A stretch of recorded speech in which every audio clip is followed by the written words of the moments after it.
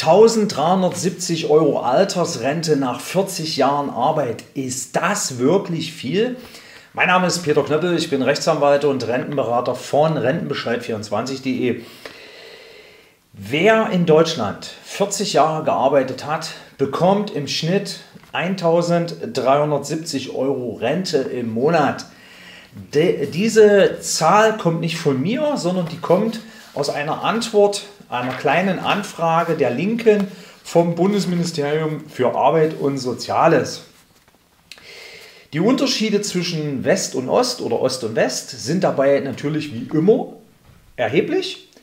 In den alten Bundesländern bekamen mit Stichtag 31.12.2021 1423 Euro Altersrente bei 40 Jahren Arbeit und in den neuen Bundesländern lediglich 1255 Euro.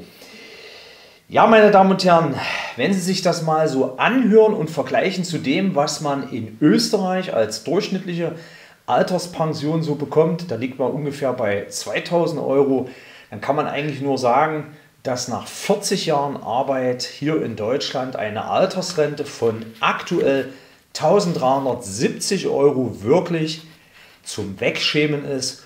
Und da sage ich, wie viele andere auch, das kann so nicht weitergehen, meine Damen und Herren. Also, was wir brauchen, sind armutsfeste Altersrenten und eine Mindestrente, die irgendwo im Bereich von 1200 bis 1300 Euro angesiedelt ist.